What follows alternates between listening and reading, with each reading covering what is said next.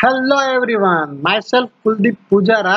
I am a solar trainer and master in electrical power system. આજે હું આપના માટે લઈને આવ્યો છું એક ઓનલાઈન ટ્રેનિંગ પ્રોગ્રામ કે જેનું નામ છે basic of electrical and solar PV installation તો શું છે આ ટ્રેનિંગ પ્રોગ્રામમાં આ ટ્રેનિંગ પ્રોગ્રામમાં ઇલેક્ટ્રિકલના બેઝિક કન્સેપ્ટથી લઈને આજના જમાનામાં સોલાર પેનલ નો વધતો જતા ઉપયોગને જોતા સોલાર પેનલ છે એ કેવી રીતે પ્રોડ્યુસ થાય છે? સોલાર પેનલમાંથી આપણને ઇલેક્ટ્રિસિટી કેવી રીતે મેળવી શકાય છે? અને એના દ્વારા આપણે આપણું ઇલેક્ટ્રિસિટીનું બિલ છે એ કેવી રીતે રિડ્યુસ કરી શકીએ છીએ? એ બધી જ વસ્તુ તમને આ ટ્રેનિંગ પ્રોગ્રામ દ્વારા શીખવવામાં આવશે.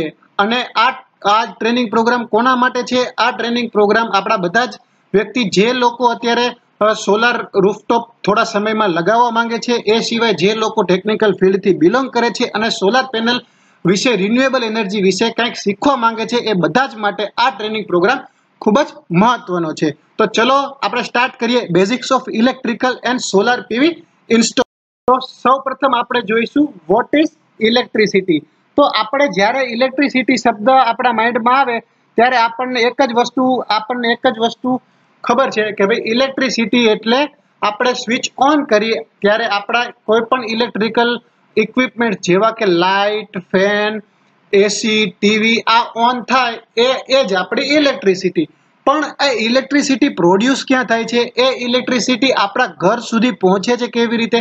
એ વસ્તુનો ક્યારે આપણે વિચાર કર્યો છે? તો એ બધી જ વસ્તુ જેવા નાના નાના આપણા ક્વેશ્ચન છે એ બધા જ ક્વેશ્ચનનો આન્સર તમને આ ટ્રેનિંગ પ્રોગ્રામની અંદર મળશે. એ સિવાય આપણે basics of basics of electrical પણ જોઈશું. અને ઇલેક્ટ્રિકલના બેઝિક્સની અંદર કરંટ વોલ્ટેજ પાવર એનર્જી આ બધી જ વસ્તુની માહિતી તમને આ ટ્રેનિંગ પ્રોગ્રામ દ્વારા મળશે. અને આપણે એક હાજરી છે કરંટ વોલ્ટેજ રજિસ્ટર્સની અને એ ત્યાં, જ્યાં સુધી મેઝર નહીં કરી, ત્યાં સુધી કેવી રીતે ખબર પડશે? તો એને મેઝરમેન્ટની પ્રોસેસ પણ તમને આ ટ્રેનિંગ પ્રોગ્રામની અંદર અત્યારે મળશે. તો ચલો સ્ટાર્ટ કરીએ. સૌ પ્રથમ છે basics of electrical. Basics of ઇલેક્ટ્રિકલની અંદરથી લઈએ આપણે સોર્સ. તો સોર્સ કોને કહેવાય? કે જ્યાંથી આપણને કંઈક વસ્તુ મળે છે, એને કહેવાય સોર્સ. તો શું કહેવાય? સોર્સ. જ્યાંથી આપણને કંઈક મળે છે. વેર સમથિંગ કેમ ફ્રોમ આપણને સૂર્યમાંથી સૂર્ય ઊર્જા મળે છે. તો સૂર્ય શું થયો? ઉર્જાનો સ્ત્રોત થયો, સોર્સ થયો. પવન આપણને મળે છે તો વિન્ડ એનર્જી શું થઈ? એ વિન્ડ થયો એ શું થયો? ઉર્જાનો સોર્સ થયો. આમ આપણને જે પણ વસ્તુ મળે, એ જ્યાંથી મળી હોય એને શું કહેવાય? સોર્સ હવે આપણે જે પણ એનર્જી મળે, એનો કંઈક આપણે ઉપયોગ કરતા હશું. આપણે સૂર્ય ઊર્જા મળે છે, તો સૂર્યમાંથી જે આપણને ઊર્જા મળે, એનો આપણે ઉપયોગ કરી. તો એ જે જે પણ એનર્જી મળે, એ ક્યાં, જ્યાં યુટિલાઇઝ થાય કે વપરાય, એને કહેવાય લોડ ઇલેક્ટ્રિકલ એનર્જીનો ઉપયોગ કરીને આપણે લાઇટ, ફેન આ બધી વસ્તુ છે એ ચાલુ કરી શકીએ છીએ. લાઇટ, ફેન આ બધી વસ્તુ એ શું થઈ આપણા માટે? ઇલેક્ટ્રિકલ લોડ થયો. લોડના ટાઈપ્સની અંદર રેઝિસ્ટન્સ, ઇન્ડક્ટર અને કેપેસિટરનો સમાવેશ થાય છે.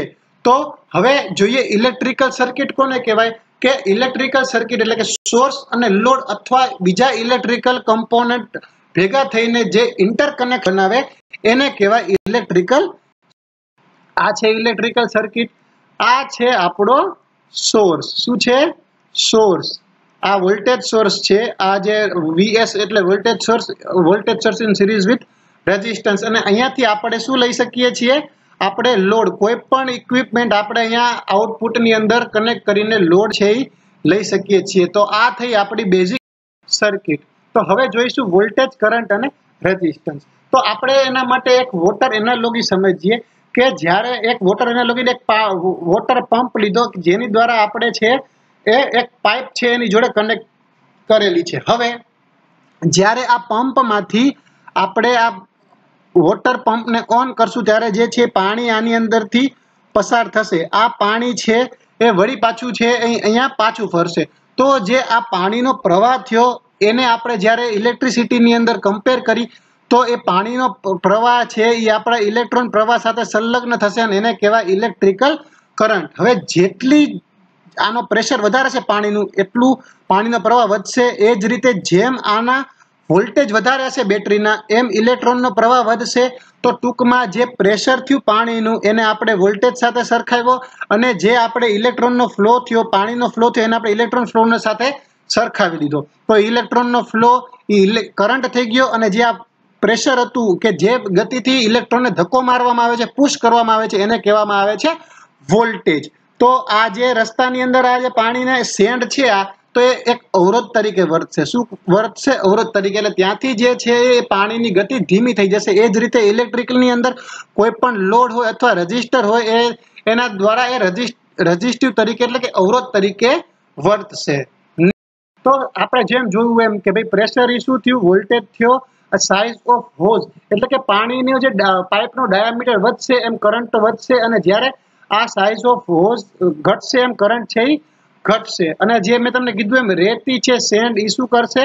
રેઝિસ્ટન્સ તરીકે વર્ક હવે જે આ ડેફિનેશન જોઈ લીધી આપણે flow of electron through wire per second is called current wire કોઈ પણ વાયરમાંથી ઇલેક્ટ્રોનનો ફ્લો થાય પર સેકન્ડે એને કહેવાય કરંટ કે જે, અને હવે આવે છે વોલ્ટેજ કરંટનો એકમ છે એમ્પિયર. વોલ્ટેજ એટલે શું થાય કે જે પુશ કરે છે, પ્રેશર કરે છે, ધક્કો મારે છે ઇલેક્ટ્રોનને, એને કહેવાય વોલ્ટેજ.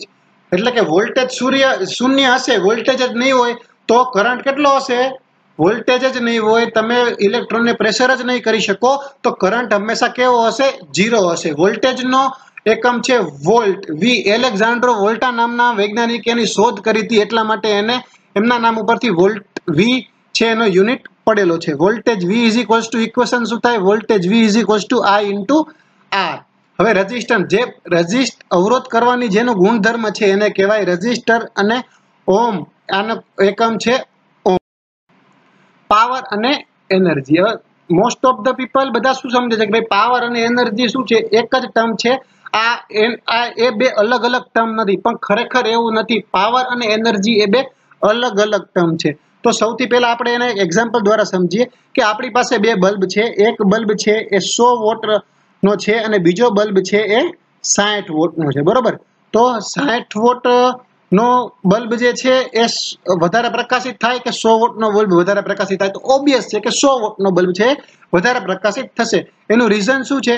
કારણ કે એ સો વોટ એટલે કે એના ઇલેક્ટ્રિકલ કાર્ય કરવાની ક્ષમતા સાઠ વોટના બલ્બ કરતાં વધારે છે. ખબર પડી પાવરની વ્યાખ્યા? તો શું થાય? કે speed of electrical work done કે જ્યારે આપણે જે જે speed of electrical work done ઇલેક્ટ્રિકલનું જે વર્ક કરવાની ક્ષમતા, જેની સ્પીડ વધારે હોય, એને પાવર વધારે હોય. બરોબર? તો હવે પાવર પી નું ઇક્વેશન શું થાય? Power P is equals to voltage V into current I હવે એ જ રીતે એનર્જી જોઈએ. તો પાવર વિશે ખબર પડી ગઈ કે ભાઈ ઇલેક્ટ્રિકલ કાર્ય જેટલી ઝડપ વધારે, એમ પાવર વધારે. તો એનર્જી શું થાય કે એનર્જી એટલે કે પાવર તો છે જ આપણી પાસે, પણ એ કોઈ પણ ઇક્વિપમેન્ટને આપણે કેટલા સમય સુધી કાર્યરત રાખીએ છીએ? ટીવી તો ટીવી આપણે કેટલા સમય સુધી કાર્યરત રાખીએ છીએ? ફેનને કેટલા સમય સુધી કાર્યરત રાખીએ છીએ? એટલે કે ટોટલ કેટલું ઇલેક્ટ્રિકલ કાર્ય થાય છે?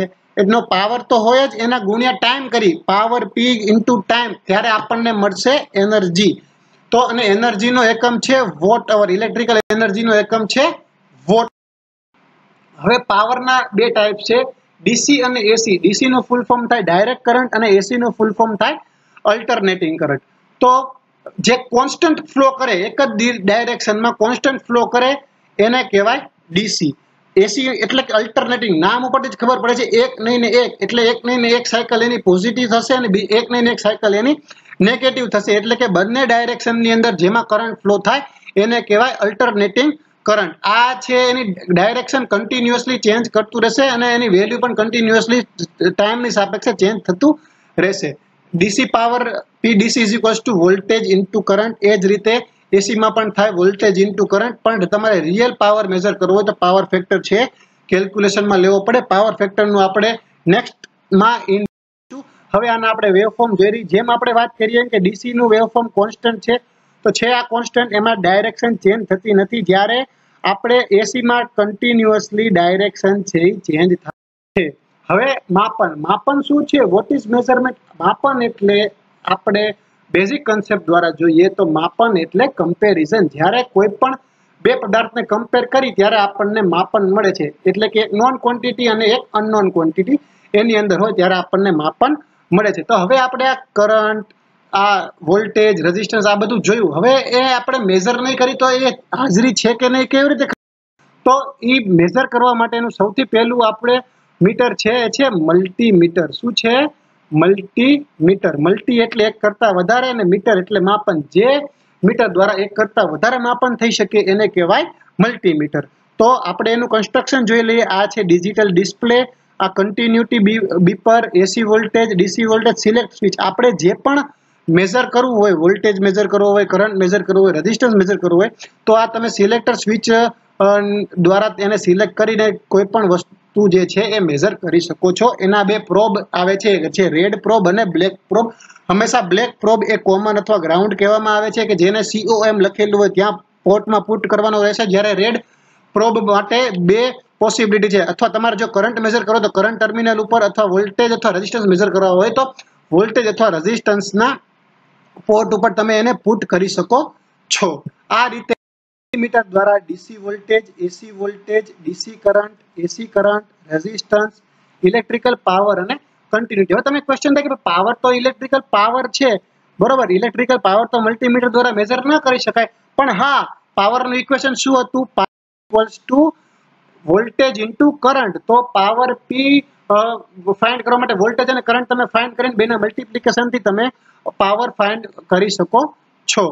Power P equals V into I હવે આપણે પાવર એવું એમ થાય ક્વેશ્ચન કે ભાઈ ખાલી પાવર મેઝર કરવો હોય તો કોઈ ઇક્વિપમેન્ટ ખરું? યસ તો એ છે વોટ મીટર શું કહેવાય? વોટ મીટર વોટ મીટરના કન્સ્ટ્રક્શન જોઈએ તો એમાં બે કોઇલ હોય. કરંટ કોઇલ અને પ્રેશર કોઇલ મેં તમને કીધું એમ કે ભાઈ કરંટ અને વોલ્ટેજનું તમે મલ્ટિપ્લિકેશન કરો એટલે પાવર મળી જાય કરંટ કોલ દ્વારા. કરંટ મળે પ્રેશર કોલ દ્વારા. વોલ્ટેજ મળે, એ બેનું મલ્ટિપ્લિકેશન કરીને લોડની એક્રોસનો આપણને પાવર છે એ મળી જાય. અને શું કરે છે એ ઇલેક્ટ્રિક કરશે. આ એનર્જી મીટર એનર્જી મીટર શું કરશે? એ એનર્જી મેઝર કરશે. ઘરની અંદર આપણે કેટલા એનર્જી વપરાણી, એટલે કે કેટલો ટાઈમ કયું ઇક્વિપમેન્ટ આપણે યુઝ કર્યું, કેટલો ટાઈમ એ બધી જ વસ્તુ મેઝર કરશે એનર્જી મીટર આ છે, આ તમને ફિગર બતાવેલી છે સિંગલ ફેઝ એનર્જી મીટરની છે, જેની અંદર ચાર ટર્મિનલ છે P N N P phase અને ન્યુટ્રલ ઇનકમિંગ અને ફેઝ અને ન્યુટ્રલ આઉટકમિંગ એ બંને વચ્ચે જે ડિફરન્સ હશે, એ આની અંદર તમને મેઝર થશે. અને આનો યુનિટ છે કિલો વોટ આજના માટે આટલું જ. તમારે કોઈ પણ ક્વેશ્ચન હોય, તમે કમેન્ટ કરીને ક્વેશ્ચન પૂછી શકો છો. હું તમને કમેન્ટ્સની અંદર પણ તમારા બધા જ ડાઉટ છે ક્લિયર કરાવડાવી દઈશ. અને આ એ સિવાય કે નેક્સ્ટ ટોપિક છે આપણો introduction and types of energy semiconductor material અને પીએન પીએન જંક્શન ડાયોડ તો આ નેક્સ્ટ ટોપિક માટે જોતા રહો YouTube channel Kuldeep Pujara. Thank you so much